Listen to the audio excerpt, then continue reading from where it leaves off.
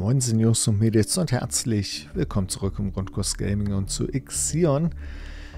Ja, äh, nachdem das eine Ende durch ist, schauen wir uns heute mal an, äh, was passiert, äh, wenn wir uns den Aschtangiten auf Remus anschließen. Die Heisenberg ist doch da, oder? Die Heisenberg fliegt weg. Wo ist die Mendeleev? Die ist da. Äh, Heisenberg, bitte hierhin zurück. Ja, ansonsten haben wir gar nicht viel zu tun, würde ich vermuten, ne?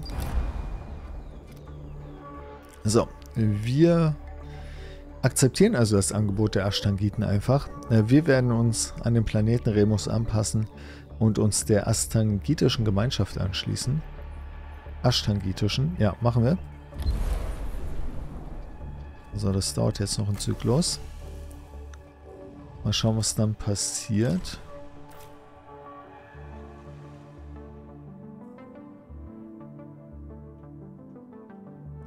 Ich bin gespannt. Das andere Ende war so, also die, die Abschlusssequenz war, war halt so ein bisschen ähm, im Vergleich zur Intro-Sequenz nicht ganz so cool, nicht so aufwendig einfach hat sich das angefühlt. Aber ja, war in Ordnung im Prinzip. A science ship team has completed a task. So, wir haben die Signale der drei der drei Ashtangiten-Tempel im Ilia-System erhalten. Nun können wir die Tempel mit unseren Sonden orten. Okay. Äh, das Team der Heisenberg wird verschiedene Ashtangiten-Siedlungen besuchen und mehr über ihre Technologie lernen.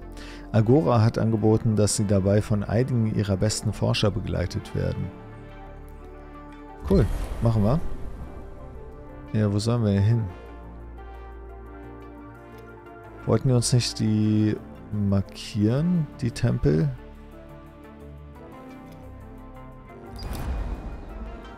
Achso, das dauert noch ein bisschen. Scheinbar. Äh, wir haben aber Forschungspunkte und diese Forschungspunkte werde ich natürlich investieren in unsere Frachtschiffe.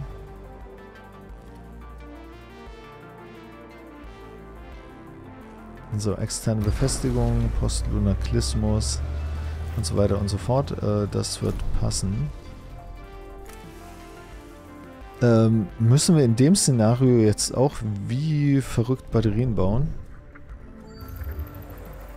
Wenn ja, könnte ich ja damit schon mal anfangen, ne? Ach, ich muss sie selber finden jetzt, die Tempel. Oh, nee. So, ist da irgendeiner noch dichter dran? So, fliegen wir erstmal dorthin. Äh, die Mendeleev ist bei Romulus. Ja, aber die, guck mal, die, die schicken wir einfach hier nach Palatin rüber, schon mal. Von da aus ist nicht so weit.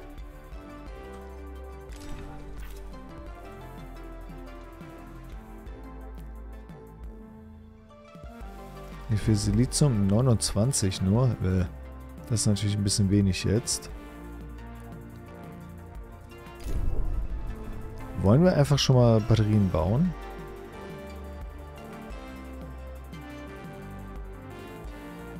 Dann müssen wir halt diesen Sektor hier wieder online bringen.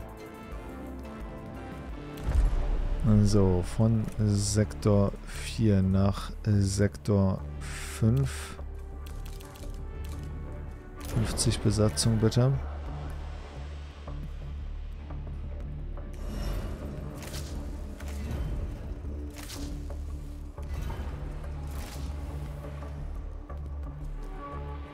Äh, brauchen wir die? Vielleicht nicht unbedingt. Die brauchen wir.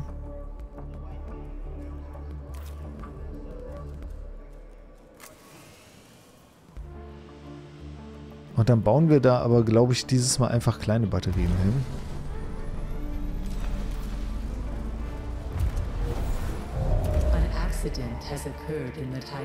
Ups, ja, das kann passieren.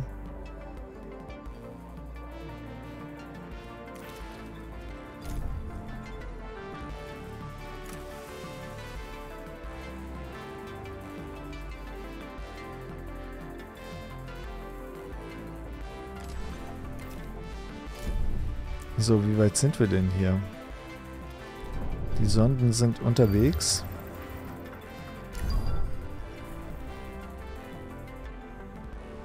Wir versuchen hier alles irgendwie...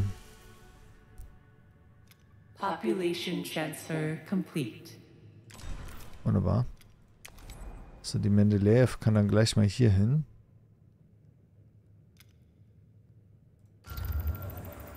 Zum Tempel des Verdienstes. So, und dann sagen wir einfach Sektor 5. Ihr braucht natürlich auch einen Bauhof, ganz klar. Hier haben wir schon die nächste Technologie freigeschaltet.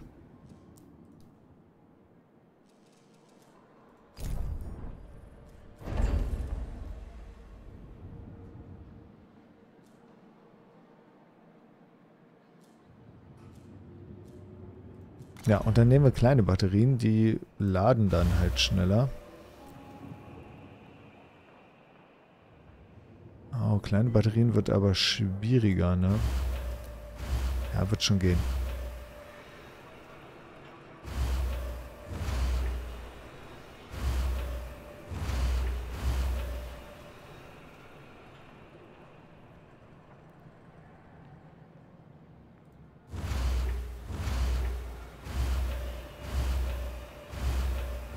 Versuchen hier einfach alles voll zu ballern. Mit kleinen Batterien, so gut wie das halt gerade geht.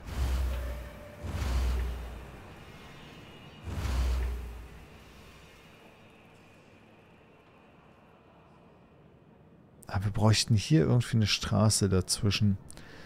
Wo ziehen wir die ein? Wir könnten hier komplett zumachen. Das wäre aber irgendwie nicht ganz so sinnvoll. Also wir müssen da schon Platz für eine Straße lassen.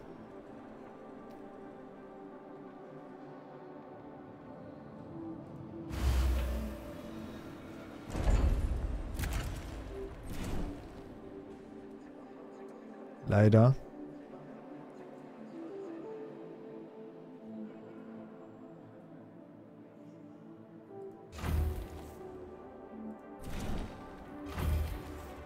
Ja, die muss einmal hier lang laufen und dann hier können wir dann alles einfach...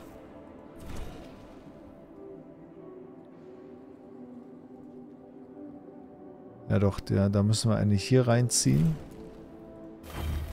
1, 2, 3, 4, 5, 6. Hier kommt eine rein und dann können wir da alles voller Batterien bauen. Äh, wir erhöhen euch mal das Limit Legierungen aufs Maximum. Fast.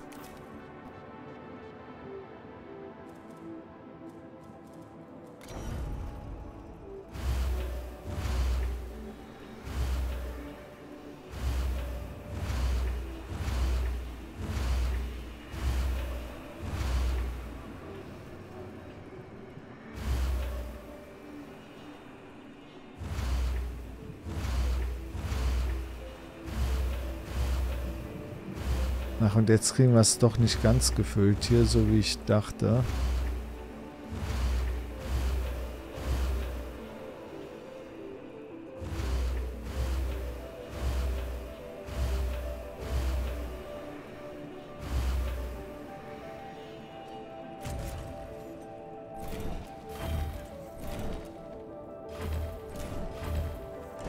So, dann bauen wir da noch Straßen.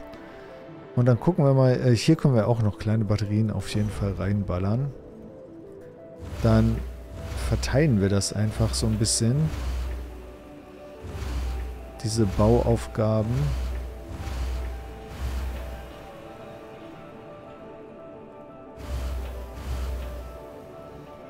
füllen hier so diese ganzen kleinen... Ähm, achso, ja. Farm brauchen wir jetzt nicht mehr.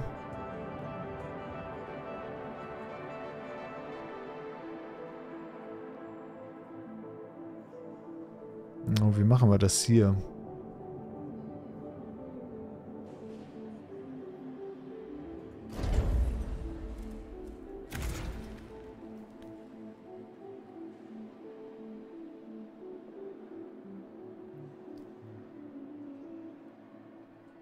Ja, hier wird es ein bisschen schwierig.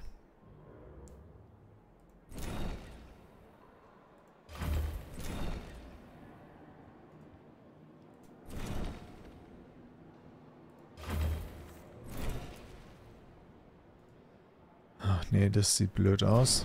Bringt uns auch nicht viel.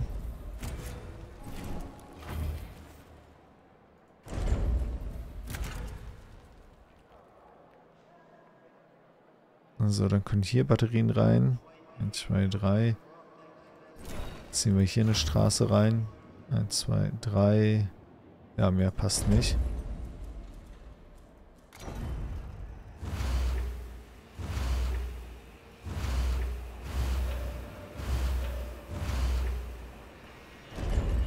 Erschreckend wenig, was da noch passt. So, wir erhöhen euch auch so ein bisschen das Legierungslimit.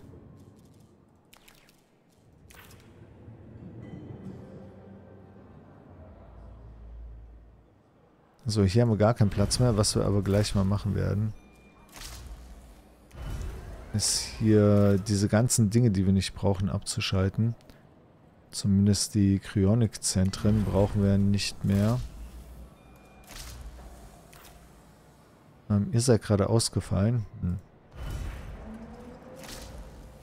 Bin ich auch kein Fan von. Hier könnten wir echt noch viele Batterien reinballern. Aber da kriegen wir auch keine Straße mehr. Dazwischen.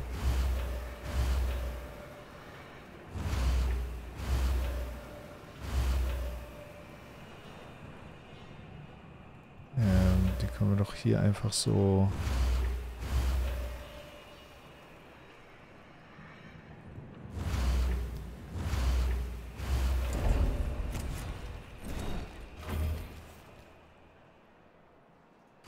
So ungefähr.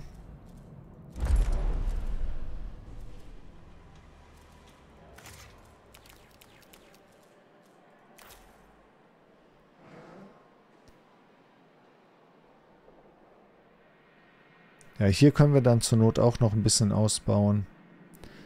Ja, wir lassen das mal so laufen. Oh, schön. Auf Remus. Die ashtangitische Technologie ist stark von ihrem terrestrischen Erbe beeinflusst, beinhaltet aber oft eine Form der genetischen Manipulation. Ochsen werden zum Düngen ihrer Felder eingesetzt, ihre Schwänze sind zum Pflügen angepasst. An Bäumen wachsen Früchte von beachtlicher Größe und ihre Rinde dient als Nahrung für andere riesige, blattlausartige Kreaturen. Ashtangitengebäude bestehen aus behauenen Steinblöcken und einem Pilz, der die Struktur im Laufe der Zeit formt und verstärkt. Ihre Wissenschaftler machten uns auf die Wachvögel aufmerksam, die als Ausguck fungieren und per Ultraschall kommunizieren. Wir haben einen detaillierten Bericht über das mit uns geteilte Wissen angefertigt. Okay, cool. Äh, verlasse Remus. Okay, gut. So, noch eine Sonde haben wir gar nicht zur Verfügung. Oh, sehr schön. Schauen wir mal, was hier abgeht in so einem Tempel. Wir haben den Tempel des Verdienstes gefunden, der sich so manifestiert hat, dass unsere Sensoren ihn orten konnten. Das Gebäude sendet schwache elektromagnetische Signale aus, die kaum wahrnehmbar sind. Der Tempel scheint verlassen, wird aber noch mit Energie versorgt.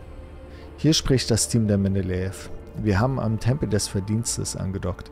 An einer der Tempelwände befindet sich eine Inschrift in mehreren Sprachen.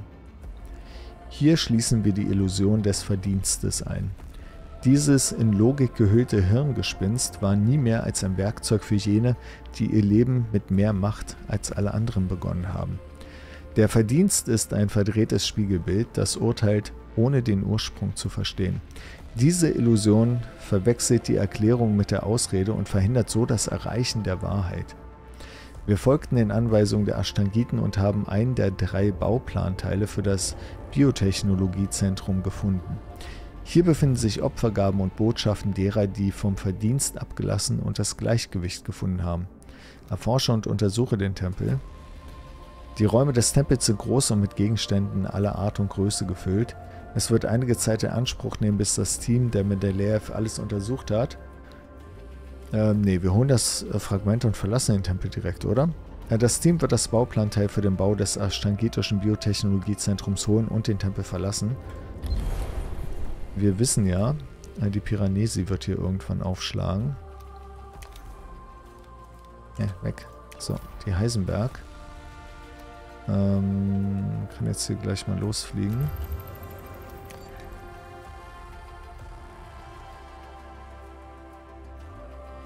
Da müssen wir mal eine Sonde losschicken.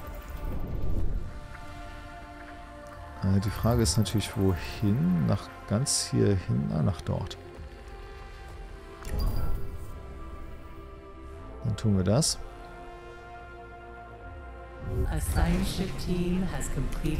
So, dann kann der Mendeleev schon mal hier sich... Achso, warte. Hier gibt es noch was. Ah, weg.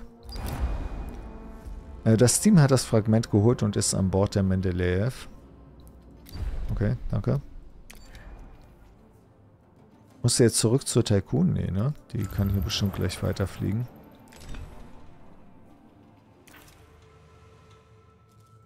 So, wir haben hier unsere Frachtschiffe schon wieder verbessert.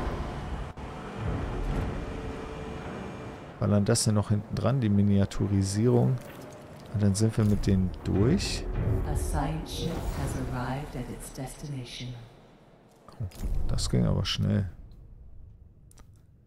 Äh, da, Tempel des freien Willens.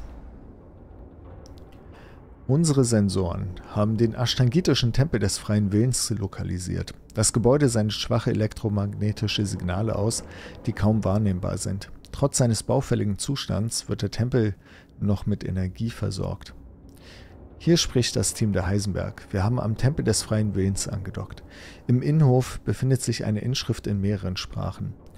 Hier schließen wir die Illusion des freien Willens ein, dieses fiktive Narrativ hindert uns daran zu sehen, was wir sind und was wir tun können. Es gibt keine Wahl, denn die Beweggründe, die uns eine Wahl treffen lassen, existieren bereits vor der Wahl. Okay. Wir folgten den Anweisungen der Ashtangiten und fanden den Raum, in dem einer der drei Bauplanteile für das Biotechnologiezentrum aufbewahrt wird. Der Tempel enthält viele Gegenstände und Zeugnisse von erfreuten Menschen, die vom freien Willen befreit wurden. Also wir holen das Ding und verschwinden da wieder.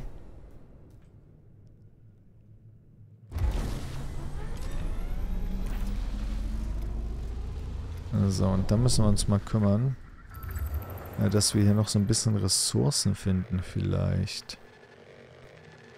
Warum, was brauchen wir denn? Okay, geh mal weg. Eisen gibt es noch ein bisschen. Ah, Silizium ist, glaube ich, knapp, ne? Silizium ist hier aber auch im ganzen Sektor Mangelware. Oh, warte, hier, wo war's? Hier. Das ist aber schon ein bisschen weiter weg. Aber gut, ja, da müssen wir halt dorthin.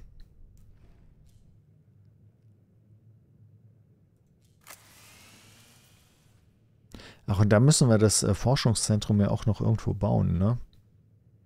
Wir haben jetzt natürlich gar nicht diesen ganzen Stress hier, äh, Romulus zu erkunden, äh, beziehungsweise wohn, äh, bewohnbar zu machen. People of the VVS Tycoon, Hi. we have detected the presence of a BMS warship oh. in the Ilia system. The Piranesi has followed in the footsteps of your Vol trace. We have no weapons, no military solution against such an enemy. Ja, wir auch nicht. the survival of this settlement in Ilia, you will have to find a way to silence him once and for all. Administrator, a new request awaits your attention. Ja, kümmern wir uns sofort drum. Äh, das Team hat das Fragment geholt und ist an Bord der Heisenberg. Sehr gut. Äh, muss die Heisenberg jetzt äh, einmal zurück zur Tycoon? Möglicherweise. So, wir schauen mal. Äh, hier drüben. Administrator, alles bestätigt die traurige Wahrheit. Die Piranesi ist uns ins Ilia-System gefolgt.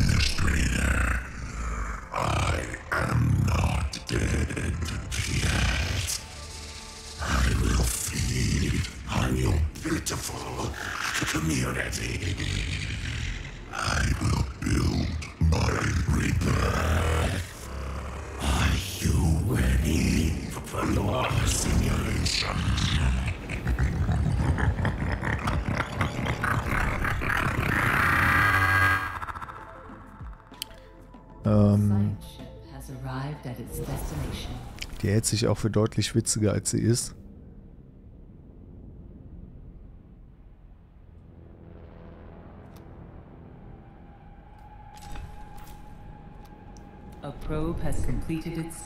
Ja, so, wir brauchen Eisen, Unmengen davon. Hier wird es noch ein bisschen geben.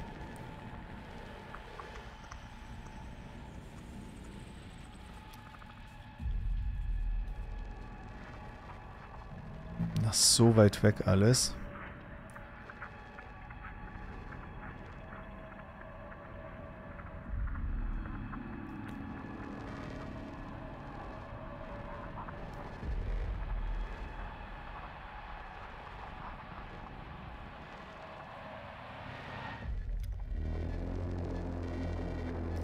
Ja, wir müssen wohl irgendwie wirklich das hier drüben nehmen. Äh, dichter dran gibt es leider nichts. Hm, Ich bin ein bisschen unbegeistert.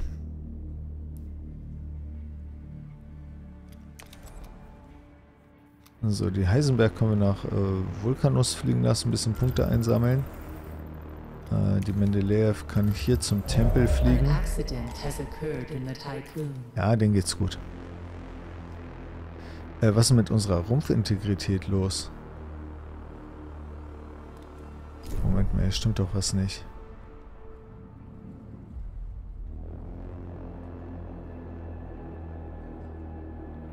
Nicht genug Legierungen? Wo sind denn unsere Legierungen?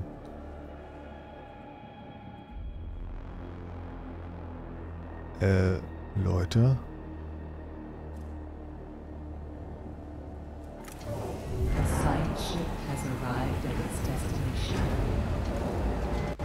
Ach, die Legierungen werden alle für einen Bau... Moment.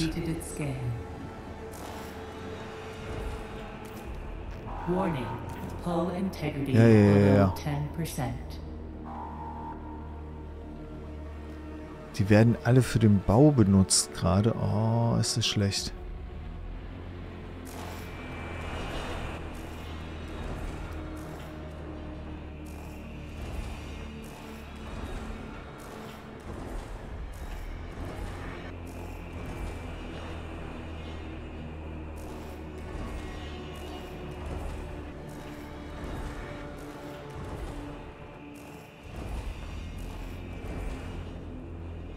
Okay, da, das nicht gut. Ja, ja, ja, ja.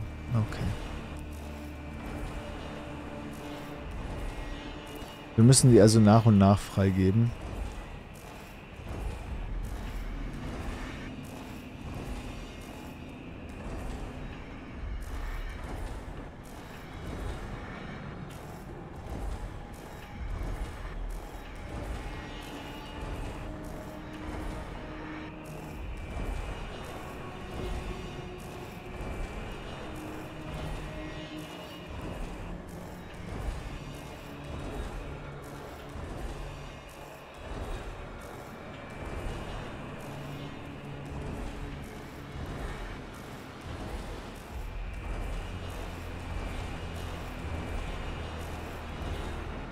Okay, vielleicht war es doch nicht so clever, das auf so viele Sektoren zu verteilen. Äh, Wir haben ja eigentlich genug Legierungen. äh, Wir kommen gerade nur nicht äh, damit hinterher scheinbar, die sinnvoll zu verteilen.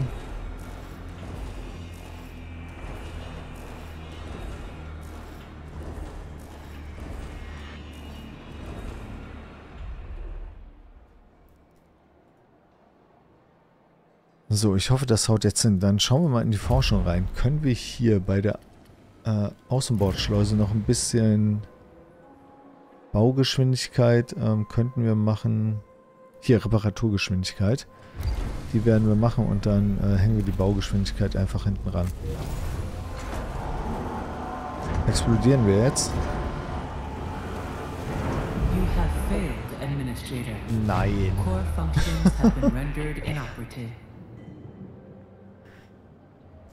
Okay, das ist jetzt natürlich blöd.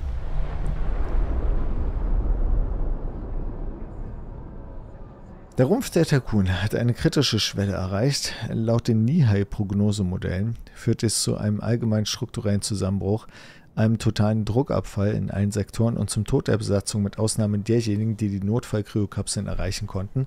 Die Kryonik zögert nur das Unvermeidliche hinaus. Okay, gut. Ich werde mal kurz laden und dann gucken wir mal, ob wir das hier retten können. So, ich habe jetzt die Batterien hier alle erstmal pausiert auf jeden Fall. Also ich habe die wieder angelegt, ne? ganz, ganz so viele habe ich jetzt hier erstmal nicht angelegt, aber äh, die, die da sind, sind pausiert, damit erstmal der Rohstofftransfer äh, über die Bühne gehen kann.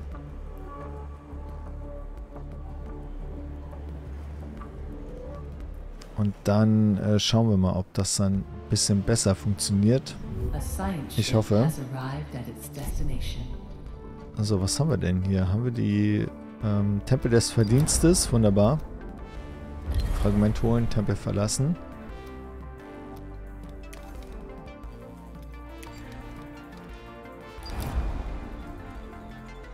Ähm, ja. Wunderbar. Remus verlassen.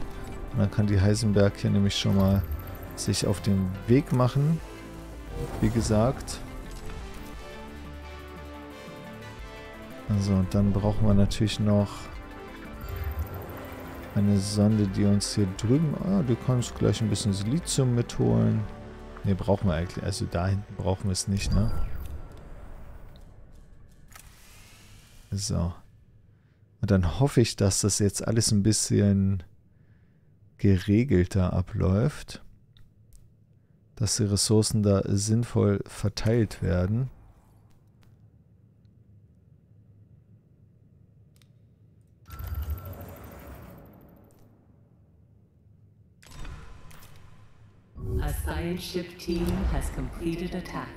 So, das Ding haben wir. Dann kann die Mendeleev direkt nach da drüben fliegen.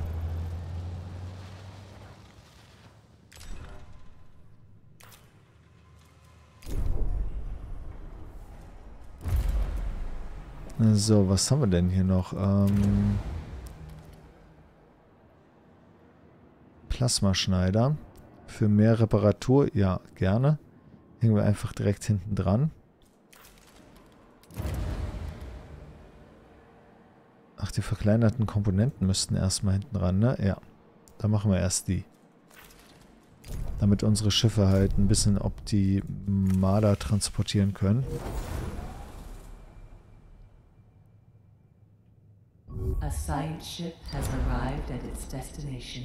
So, wir holen das Fragment, verlassen den Tempel. Und dann wird uns gleich wieder die Piranesi auf den Sack gehen, befürchte ich. Ne, die müsste auch jetzt ungefähr kommen. So, aber erstmal haben wir Sonden. Ähm, hier drüben Eisen und so weiter und so fort.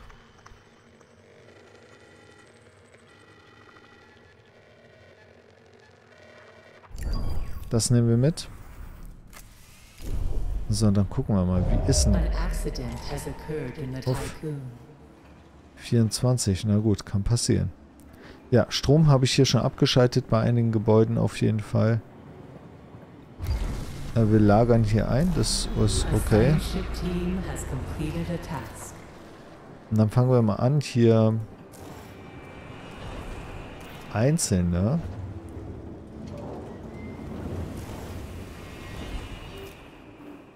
Batterien bauen zu lassen. People of the VVS Tycoon, we have detected the presence of a BMS warship in the Ilia system. The Piranesi has followed in the footsteps of your Vol trace. We have no weapons, no military solution against such an enemy. To ensure the survival of this settlement in Ilia, you will have to find a way to silence him. Das schaffen wir. Administrator, a new request awaits your attention. So, der Tempel des freien Willens. Ähm, ja, ihr kehrt einmal zur Tycoon zurück, bitte.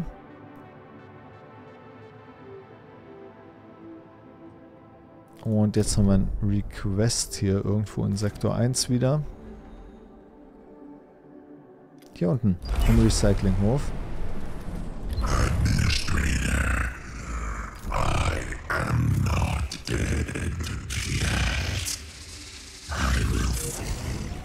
Ja, dann wissen wir. Haben wir mitbekommen. Also die Mendeleev ist da oben angekommen.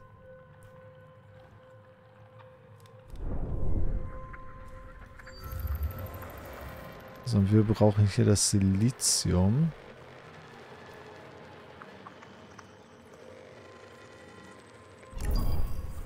Befürchte ich. Das könnte wichtig werden. So, ähm, der Rumpf wird repariert überall ausreichend.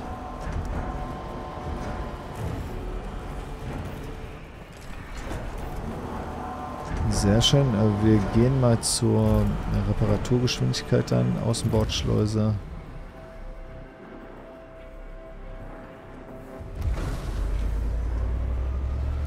Plasmaschneider hätte ich gerne. Ja, nein, das war falsch. Hier wollte ich hin.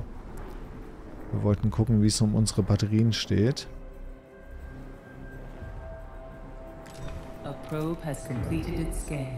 Oh, das ist gut.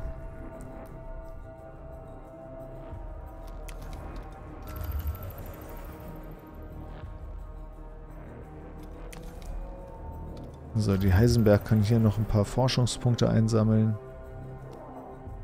Dann gehen uns sie hoffentlich auch nicht aus.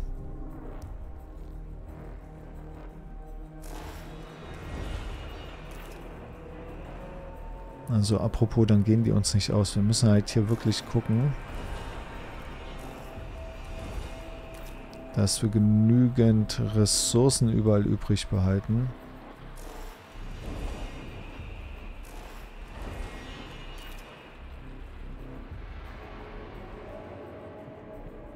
Hier wird echt gar nichts weitergebaut, ne?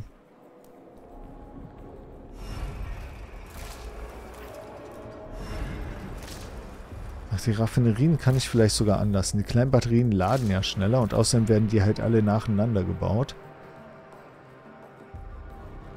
So, dass das hoffentlich zu weniger Problemen führt. Äh, Hier oben wollten wir noch ein paar Batterien hinbauen, habe ich gehört.